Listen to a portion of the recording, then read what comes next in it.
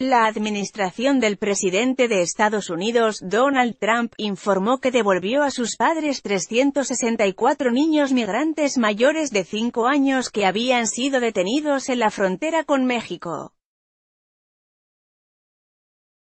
La reunificación de estas familias es consecuencia de la orden de un juez federal de San Diego, que dio al gobierno federal hasta la medianoche del 26 de julio para devolver a 2.551 menores inmigrantes de entre 5 y 17 años separados de sus padres por las autoridades estadounidenses, como resultado de una demanda judicial.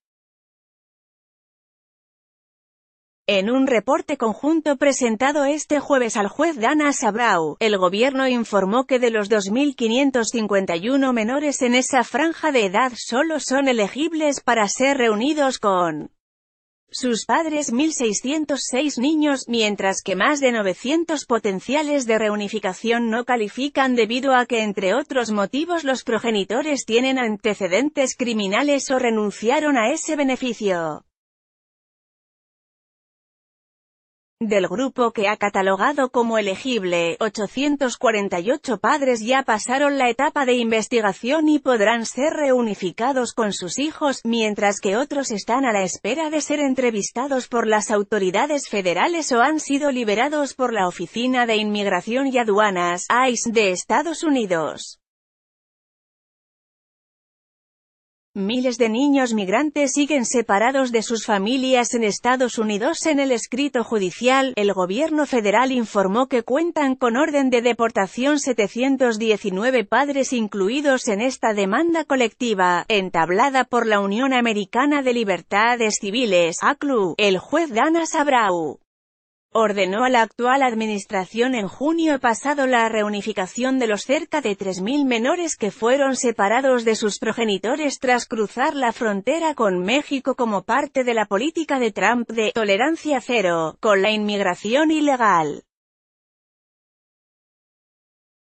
El pasado martes se cumplió la primera parte del plazo dado por el magistrado al gobierno para reunificar a las familias de los niños más pequeños.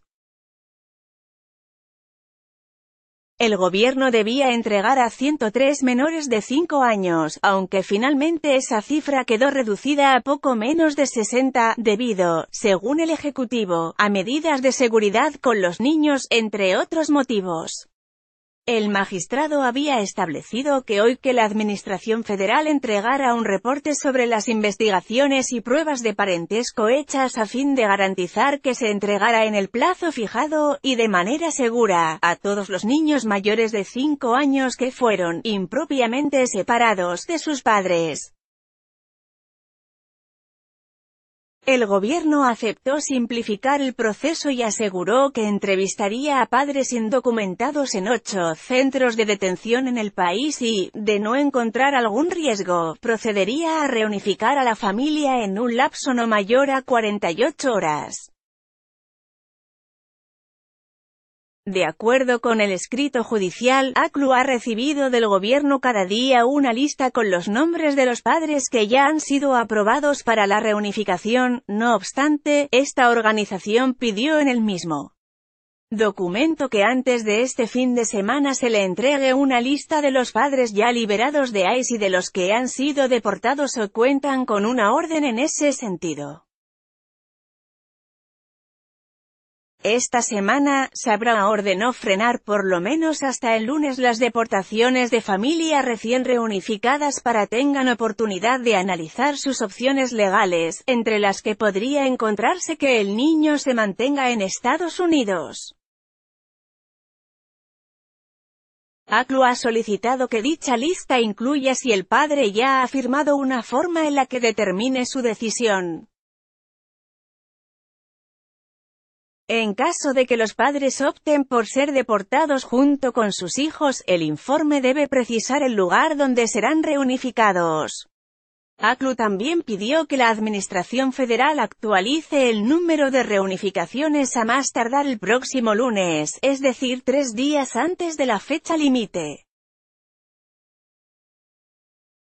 Niños migrantes pasan hambre y frío en centros de detención de Estados Unidos. La Administración Federal ha reunificado hasta hoy a 58 niños menores de 5 años y a 364 entre 5 y 17 años.